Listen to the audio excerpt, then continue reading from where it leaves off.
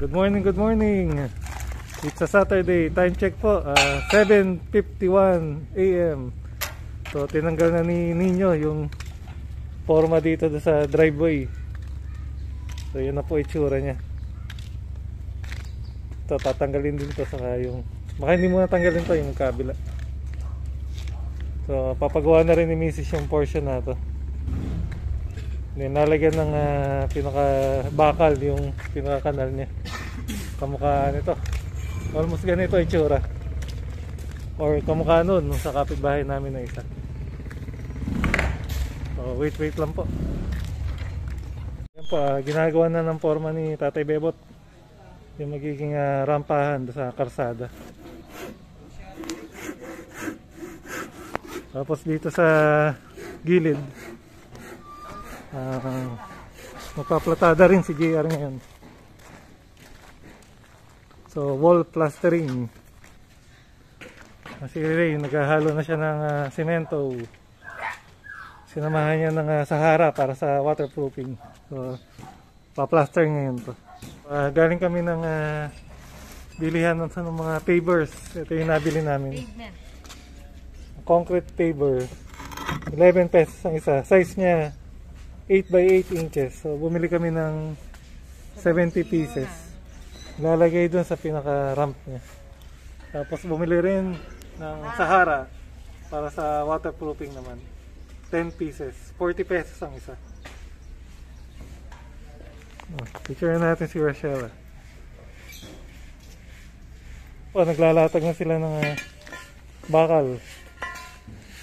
Uh, 10 mm po lahat ng bakal na yun tapos ayun na yung pavers binababa na nila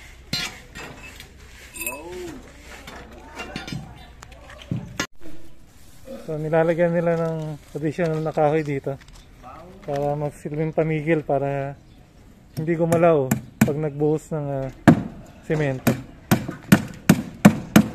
Pinapakuan nila. So hanggang dito lang muna yung magiging buhos niya. Itong second unit, uh, susunod na lang to. Pag uh, wala na masyadong gagawin, patutuloy na rin namin to. Hanggang dun. Yung asinta ng uh, hollow block. Tapos i-repair namin yung mga nasirang uh, gutter. Diyan kasi rumarampa yung mga delivery truck eh. Si Paolo naman nag-didistay uh, ng buhangin. Uh, marami pang gagamitin buhangin kasi uh, paplatadahan pa lahat to. So nandun muna sila JR sa bandang dulo.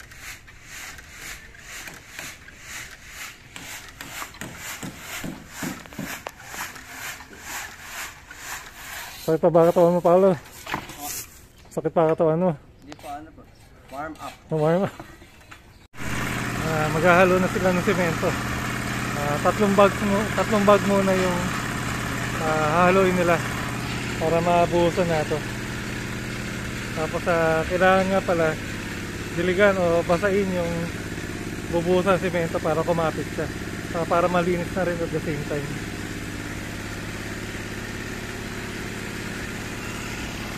Ito ang gagamitin yung banday-banda. Magkahalong uh, bato saka buhangin uh, pinapahira ni Tatay Bebot ng purong semento yung pagbubuhusan ng uh, konkreto para mas uh, kumapit siya. Kasi tinis to eh madulas siya. So mo uh, expose sa araw sa tubig uh, may mga konting lumot. Kaya pinapahira niya ng purong semento para mas maganda yung maging kapit niya. Uh, tapos na sila maghalo. So, ibubuhos nila ito dito. Uh, unang buhos si Paulo 3 points. Pangalawang buhos si Noni James.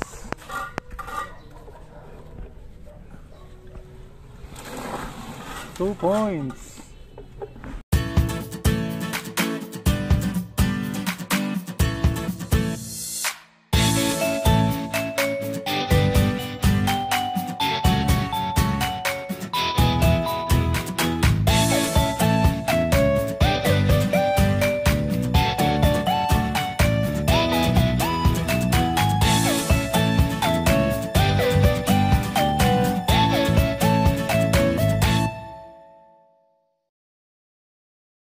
Yan, na nabuhusan na po lahat ng simento. Medyo patitigasin lang tapos ilalatag na nila yung pavers.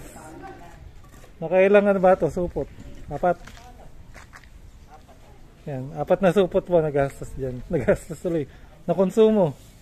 Kailangan daw munang maligo nung, lub, nung ano, nung paver bago siya ikabit. Kaya pinaliliguan mo ni Randy. Bigyan mo ng sabon saka shampoo. Para malinis-linis. Nakakawas ko konti. Kaya kailangan kasi walang mga alikabok. Saka basa siya para hindi agad sipsipin yung simento. Kasi ma- malakas sumipsip ng simento yung mato yung konkreto sa mukha niyan. Mga kailangan ibabad yan.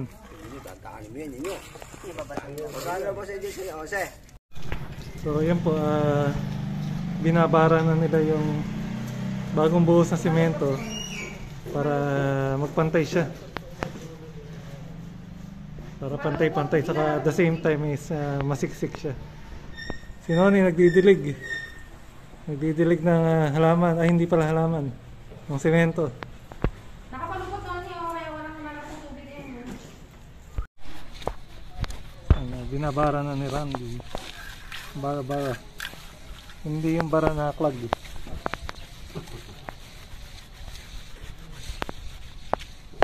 Sa kabila naman si Tatay Bebot nagbabara din. Para masiksik. Siksik liglig. Dito sa likod si JR. ah, tuloy lang yung pagpapahid niya ng platada. Medyo malakas ang araw dito eh. Patutok yung araw. Gumawa siya ng DIY na canopy. Yan, oh, bawas, bawas init. Bawal na panood ang China yan. No, Makukuha yung diskarte. nakukuha. Baka ma, ano, ma-imitate. Makukuha yung pagtatawag. O, shoutout daw, sabi niyo. Salamat sa isang daan. O, salamat daw po sa isang daan. Mara, malayo narating ng isang daan. Oh, malayo po na nakarating po ako ng London. Lon London, Lon dito. Utang dito, utang doon. Yan po ang diskarte nila. Uh, paplatadahan ng ah, mas ah, pino, pinong semento, saka pinong buhangin. Saka isasalpak yung mga paver para mas ah, maganda kapit niya, malambot. Tapos yan, ah, binabatuhan nila ng ah, purong semento.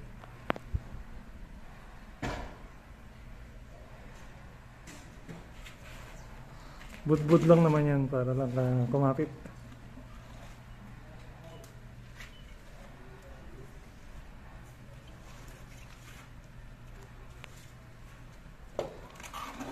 So, nilatag na nila yung mga favor inabang na iba.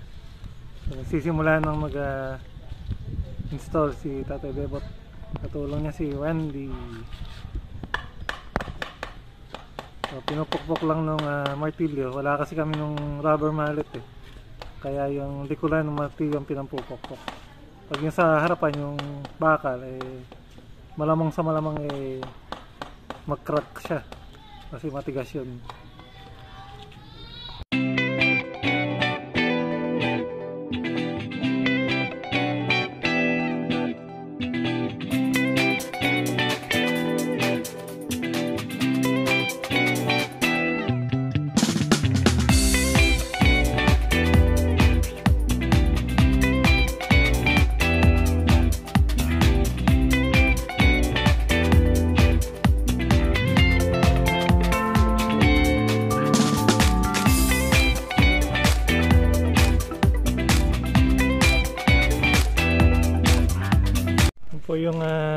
Mixer na iahon na ni ninyo sa pagkakabaon. Ni- Nililinis na sa binombahan na gulong. Ah, mukhang ano, eh, tapos na yung kanyang tungkulin. tapos na yung kanyang gampanin. Apat na buwan kami nagsama niyan. Tayo nagsama niyan. Kaya, ha- hindi na kasi gagamitin yung mixer kasi ah, yung mga bubuhos ng simento is ah, kompleto na. Platada na lang yung ah, kulang. Pag, pag pamplatada kasi, ah, mano-mano lang nilang hinahalo. Kaya yan, ah, nililinis na ni Nonny James. Biglang bumuhos yung ah, malakas na ulan. Pero sandali lang siya, mga 15 minutes lang. Sumingaw lang yung ah, init. Ito, papunta na ako sa site. Yung sila Tatay Bebot, naglilinis ng konti. Nabasa pa yata yung ah, simento na nilagay nila. So, tingnan po natin. So, yan po, na ikabit na nila lahat ng paver. So, yung kanto nito, ah, lalagyan naman nila ng simento para maging ah, smooth. Parang may kurba siya kamukha nito sa kapitbahay namin. Ayan po siya. Na-wash out yung ibang simento eh. Biglang bumuhos yung ulan eh. Pero lalagyan din uli yan. Ah, ito, natapos na nila yung isang ah, portion na paplatadahan. Isusunod nila ngayon to. Yung sa bandang ah, gitna. So, tinatansiyan nila para makuha yung kapal. Same procedure pa rin gagamit ng hulog para diretso. Then tatansiyan. Babasain. Then saka pwede nang pahiran ng, ng semento para plastering. Uh, pinupulido na ni Tatay Bebot yung pinaka-slope niya.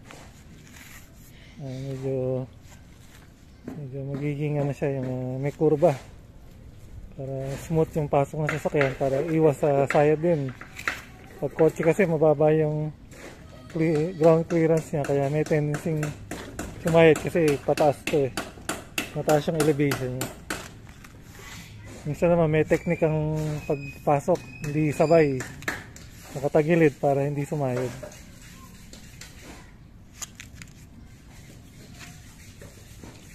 Kaya labas mo na yung kotse, galang marahi ka na.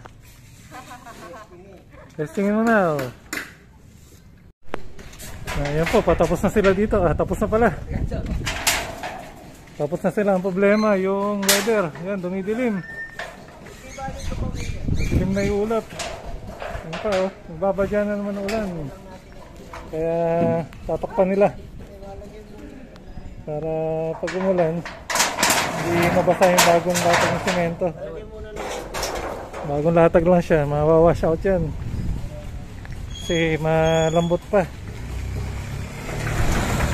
Yan, tapos na yan. So, maghahanda na sila sa ulan.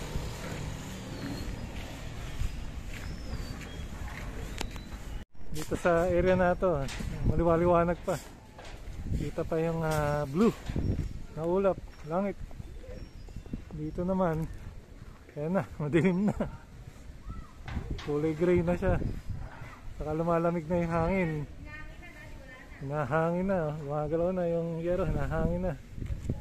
Ayan, na paghahanda. Tinatungan nila ng anti-rain, rain. Rainproof na yero. Saka pinolik board, forma. Sayang kasi kung mababasa siya, mawawash out. Eh, maghapong ginawa. Time check po, 3.54 p.m. So nagbibistay sila ng ah, buhangin para gagamitin naman sa Monday dun sa taas. Si Nino James, taga pala, taga si Paulo Contis. Paulo Rivera, yun talaga. so dito, yan, patapos na yung isang side. Nasa bandang baba na. Ito kasing portion na to, yung may mga tubo. ah, mas makapal siya ng konti. Kasi may ah, tubo siya. Kailangan matakpan. Mas makapal. Ayan, ah, binubuli na ni ah, JR para magpantay-pantay. Wrap finish lang po to lahat. Wrap, wrap. Ayan, ah, last day na ni Mr. Mixer. So, ipo-pull out na nila yung mixer kasi wala nang paggagamitan. Ihahatakin siya nito nung Karmachug na tricycle. Malakas yung tricycle na yan, Honda. So, ibababa nila dun. Yung pambomba niyan.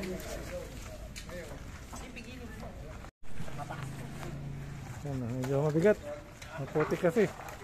Saka mabigat yung mixer kaya nahihirapan silang tulak. Baka dumauslos yan. Ano Kailangan laparan muna yung nilagay nila ng makeshift na daan. So, sinusukatan muna, ina-adjust.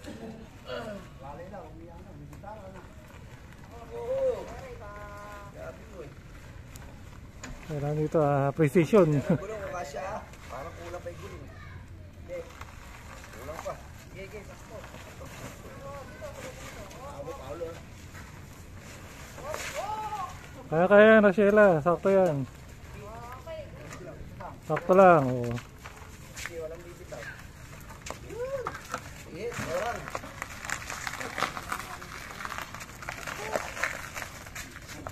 Ang galing yung mga driver. Sakto lang.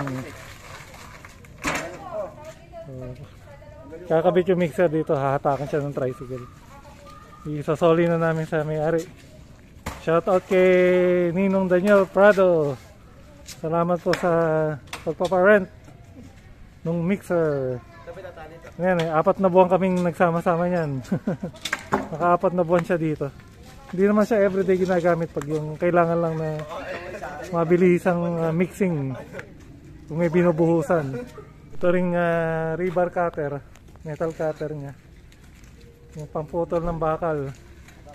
Ikakarga na rin nila kasi uh, wala na rin naman puputulin na malakihan. Kung may puputulin man, eh, maritrip na lang. Hanggang, mabigat siya, para mga 50 kilos yan. So- Solid na bakal yan. Dito sa bandang una may lagay.